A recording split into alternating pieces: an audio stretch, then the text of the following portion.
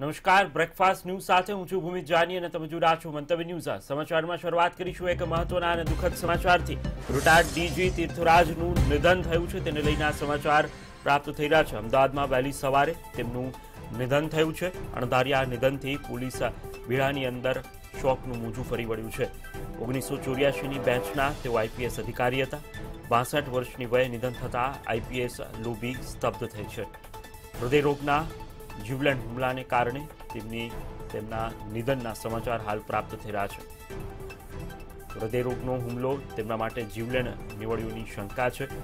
Retired DG તીર્થરાજનું નિધન થયું છે. અમદાવાદમાં વહેલી સવારે તેમનું નિધન થયાના સમાચાર હાલ પ્રાપ્ત થઈ રહ્યા છે. અણધાર્યા નિધનથી પોલીસ બેડામાં શોકનું મોજું ફરી વળ્યું છે. તો ઓગણીસો ને ચોર્યાસીની બેચના તેઓ સનિષ્ઠ આઈપીએસ અધિકારી હતા.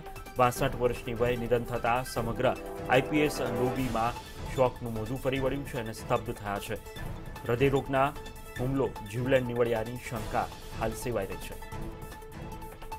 ફોનલાઈન પર સંવાદદાતા કામેશ ચોકસી જોડાયા છે. કામેશ, જે રીતે સમાચાર મળી રહ્યા છે, રિટાયર્ડ ડીજી તીર્થરાજનું નિધન થયું છે. શું છે વિગતો? બિલકુલ ભૂમિત આપને જણાવી દઉં કે આજે સવારે જ નિવૃત્ત આઈપીએસ અધિકારી તીર્થરાજનું નિધન થયું છે.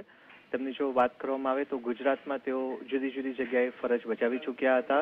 અગાઉ બે વર્ષ પહેલા તેઓ નિવૃત્ત થયા હતા અને અમદાવાદમાં આઈપીએસ તીર્થરાજ પરિવાર સાથે રહેતા હતા. આજે વહેલી સવારની જો વાત કરવામાં આવે તો આજે વહેલી સવારે પાંચ વાગે તેઓ પાણી પીવા ઉઠ્યા હતા અને પાણી પીધા બાદ તેઓ સૂઈ ગયા હતા. ત્યારબાદ એવું માનવામાં આવે છે કે હૃદય રોગનો હુમલો તેમના માટે જીવલેણ નીવડ્યો છે અને ગુજરાતના નિવૃત્ત આઈપીએસ અધિકારી તીર્થરાજનું નિધન થયું છે. તેમનો બાસઠ વર્ષની વયે નિધન થતા આઈપીએસ લોબી સ્તબ્ધ થઈ છે. જી. જી, કામેશ, સમગ્ર વિગત આપવા બદલ આપનો આભાર.